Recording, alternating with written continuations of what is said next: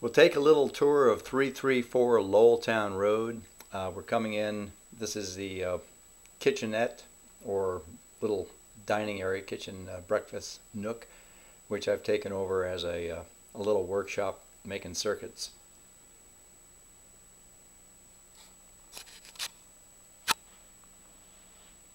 Okay, we're going around to the right as you come in the kitchen. There's the bathroom. And it's, uh, it needs renovation, no question about it. Wallpaper is old fashioned. Um, there's some damage to the uh, tile in the shower. So that should be replaced. It is uh, handicapped, but as you can see, there is, is some damage. So that uh, has been uh, filled with foam.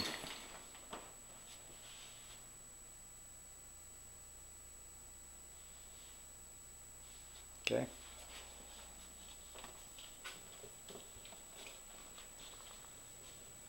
And this is the main part of the kitchen.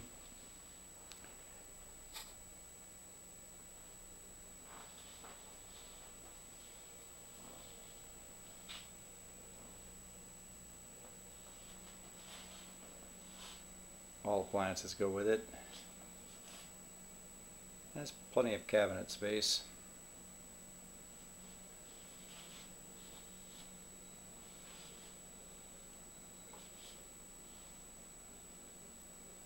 Okay.